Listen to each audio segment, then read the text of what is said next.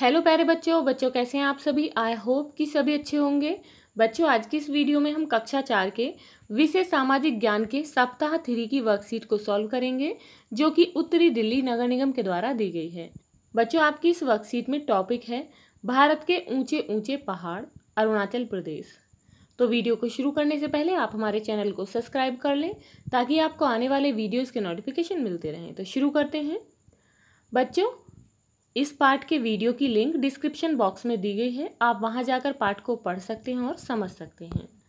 Question one है, रिक्त स्थान भरिए। हिंट है बच्चों, ठंड, अरुणाचल, धान, जंगल।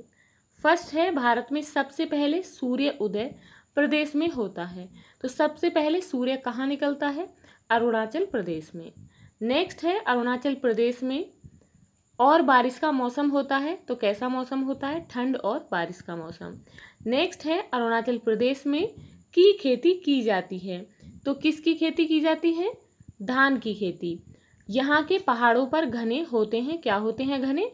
जंगल होते हैं। क्वेश्चन नंबर टू है, निम्नलिखित प्रश्नों के सही विकल्प चुनिए और अपनी कॉपी में लिखिए। फ़र्स्ट है, अरुणाचल प्रदेश की राजधानी कौन सी है? तो बच्चों, कौन सी है? ईटानगर। नेक्स्ट क्वेश्चन है, अरुणाचल प्रदेश किस दिशा में स्थित है? तो बच्चों, किस दिशा में स्थित है? उत्तर पूर्व दिशा में अरुणाचल प्रदेश स्थित है। नेक्स्ट क्वेश्चन है, यहाँ के लोगों का मुख्य पालतू जानवर कौन सा है? गाय, भैंस, मिथुन। तो बच्चों, कौन सा है? मिथुन। नेक्स्ट है, पहाड़ों की छोटी छोटी नदियों पर किस प्रकार के पुल बनाए जाते हैं? तो बच्चों, किस प्रकार के बनाए जाते हैं? बाँस और पैत के। नेक्स्ट क्वेश्चन है अरुणाचल प्रदेश में लोग अपना घर किस तरह का बनाते हैं? सीमेंट का, बाँस के खम्भों का या मिट्टी का? तो अरुणाचल प्रदेश में लोग अपना घर बाँस के खम्भों पर बनाते हैं। नेक्स्ट क्वेश्चन है, इस चित्र को अपनी कॉपी में बनाएँ और रंग भरें। तो बच्चों, आप यहाँ पर जो घर का चित्र देख रहे हैं। आप इसे अपनी कॉपी में बनाकर रंग भरेंगे। नेक्स्ट है, जीवन कौशल, नागरिकता का भाव। चित्र में लोग क्या कर रहे हैं? चित्र को देखकर आप क्या सोचते हैं? अपनी कॉपी में लिखें। बच्चे, चित्र में लोग कचरा सड़कों पर डाल रहे हैं। आप यहाँ देख सकते हैं, ये सड़क पर थूक रहा है।